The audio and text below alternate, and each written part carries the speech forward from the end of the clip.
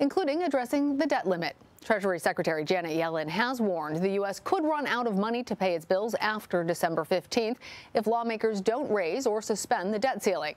President Biden's ambitious social spending plan is also still awaiting a vote in the Senate. CBS News chief foreign affairs correspondent and Face the Nation moderator Margaret Brennan joins me now for more. Margaret, great to see you. Let's start with the issue surrounding the debt limit. What exactly would happen if the U.S. defaults on its debt, and what options could we see lawmakers take in the upcoming weeks? Well, we know that both uh, Senate Republican and Democratic leaders have said they will not allow the U.S. to default on their watch. So they are right. trying to say that's not a risk.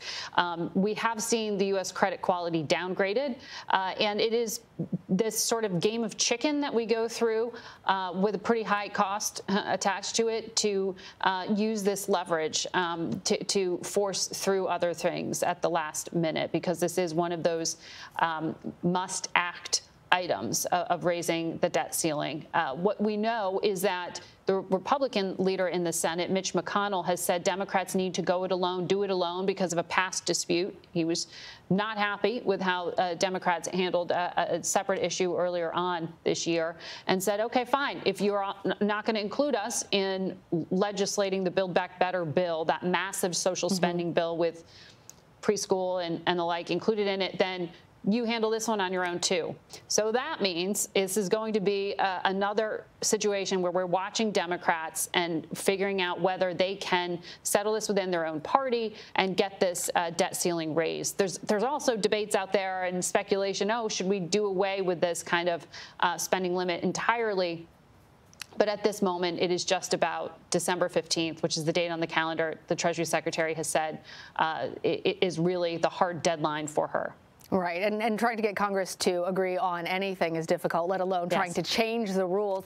Kind of in a, in a similar vein, Margaret, Congress is also trying to pass the annual defense bill known as the National Defense Authorization Act. Usually this is, receives bipartisan support, but it's also currently held up in the Senate. Tell us what's happening on that front. So the usefulness to uh, a politician in a must-pass bit of legislation, which is what the NDAA is in terms of defense spending, is that they can use it as a vehicle to get other things they want passed, right? They say, oh, you really need that? Tuck this inside. That's what happened in terms of a delay. Um, Senator Marco Rubio, Republican from Florida, uh, said he wanted to tuck inside this big $780 billion um, bill uh, something in regard to further restrictions uh, on products made in China that exploit uh, Uyghurs. That's the uh, ethnic minority mm -hmm. in China, Muslim majority uh, group who are in concentration camps and being used as forced labor. There are a number of restrictions already on the books in regard to purchasing uh, and trying to discourage people from purchasing goods that are made with forced labor. And Senator Rubio wanted to add another layer on there. Now, th there's policy making in there, and there's some um, ins and outs of, of whether the House would have to act before the Senate. But the long and short of it is that that addition held up the passage of the NDAA this week, and it might get pushed into the new year. Uh, so, as you know, uh, as you just said, it's hard to get anyone to agree on anything. The one thing they do seem to agree on is kicking the can down the road for a mm. few more weeks. All right. Well, Margaret, you know, uh, I'm also really eagerly uh, looking forward to your interview on Face the Nation this weekend with the U.S. Surgeon General about the Biden administration's response to the Omicron variant. So many people are now concerned about this being here in the United States. Mm -hmm. And the White House strategy, which has been unveiled recently, focuses on vaccinations and boosters. But there's really not been any talk about lockdowns or restrictions. And, and people are wondering what's next. And uh, uh, and what medical experts are saying about these new measures.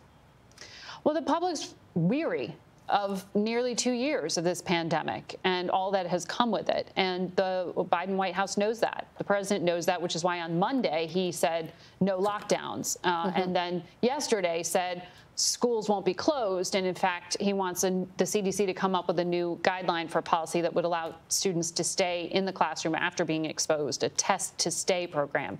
So they're trying to manage around this uh, and manage around the pandemic. The thing that could be the big risk is what you laid out there is is this new variant, this mutated version of the virus, um, in some way able to pierce the tools that we have now? Uh, and we won't have the answer to that question for weeks to come. We will ask Dr. Murthy uh, if there's any early indication in the studies that are being done here in the United States, but really all eyes are on South Africa and those mm-hmm. scientists mm -hmm. who first discovered it and are working furiously um, to, to come out with more conclusions from this initial research. We have preliminary studies. We don't have conclusive ones to date. Right. I, I know that uh, we're all looking forward to learning more about Omicron so we know just how concerned we actually need to be. Margaret, mm -hmm. thank you. Thank you. And you can see Face the Nation right here on CBSN. It streams at 12 p.m. and 4 p.m. Eastern every Sunday.